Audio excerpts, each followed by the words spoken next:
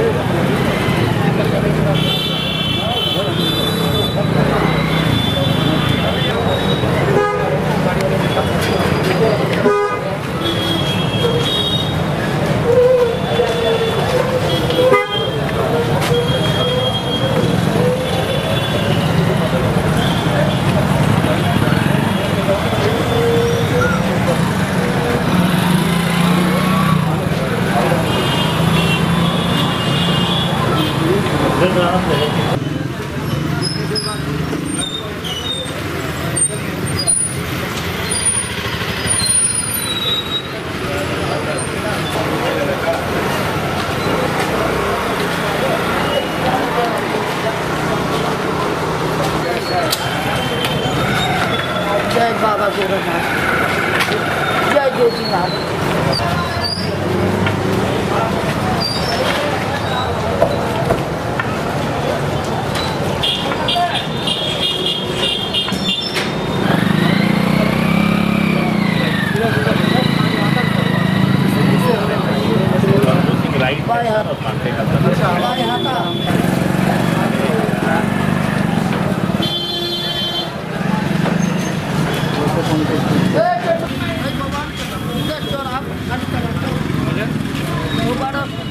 येता तू बता दे का गप्पा बरबा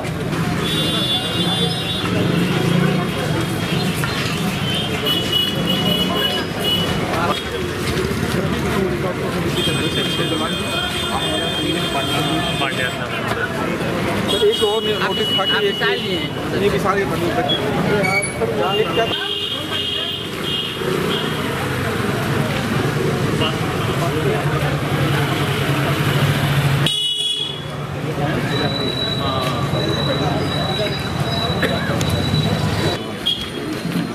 क्या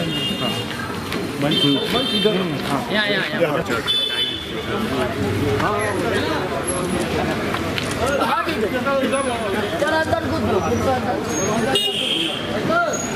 इस संबंध में सिटी वन संवाददाता से बात करते हुए नगर आयुक्त गौरव सिंह सोगरवाल ने बताया। देखिए, ये रात्रि का निरीक्षण हमारे पूरे नगर निगम के सभी अधिकारियों के द्वारा, सभी विभागों के अधिकारी उपस्थित थे। इसमें जो पारंपरिक जो रूट है, होली का होलिका दहन का और रंगोत्सव का तो उसके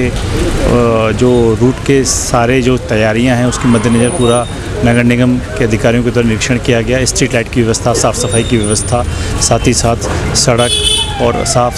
सड़क के साथ साथ अन्य किसी प्रकार की कोई जैसे उसकी व्यवस्था, सब व्यवस्थाओं को यहाँ पे देखा गया और पूरे नगर निगम की टीम उपस्थित थी। सबको निर्देशित भी किया गया कि जो भी कमियाँ हैं उसको एक दो दिन में ही सही करा लें और जो, ताकि आगामी ये चौबीस तारीख का होलिका दहन का पर्व है उसको अच्छे से संपन्न करा पाएँ। तो नगर निगम प्रशासन पूरे शहर में जितने भी होलिका दहन के स्पॉट्स हैं, जहाँ पर भी होलिका दहन होता है, साथ ही साथ जहाँ पे होली का पर्व खेला जाता है, उन सभी जगहों पे साफ़ सफ़ाई की व्यवस्था, स्ट्रीट लाइट की व्यवस्था सड़क, नाली की व्यवस्था सभी व्यवस्थाओं को दुरुस्त कराने के लिए कटिबद्ध है। इसी क्रम में आज पूरे नगर निगम की टीम के द्वारा निरीक्षण किया गया और पूरे शहर में जिस तरीके से चूँकि आचार संहिता लगी हुई है, ऐसे में पूरे शहर में जो भी त्यौहार मनाएँगे उनको पारंपरिक तौर पर जिस तरीके से मनाते आए हैं और जो व्यवस्था नगर निगम के द्वारा कराई जाती है उन व्यवस्थाओं को बेहतरीन करने के लिए ये निरीक्षण किया गया दो दो शोभा यात्रा भी निकलनी है। हाँ दो शोभा यात्रा भी निकलनी है उन शोभा यात्रा का मार्ग भी हमने देखा गया। उस मार्ग में पड़ने वाले विभिन्न व्यवस्थाओं को संचारी रूप से दुरुस्त करने के लिए भी निर्देशित किया गया है और सारी व्यवस्थाएँ अच्छी हैं और कोई समस्या नहीं आई है नगर निगम सभी त्योहारों को खासतौर पर होली का जो त्यौहार है इसके लिए सफल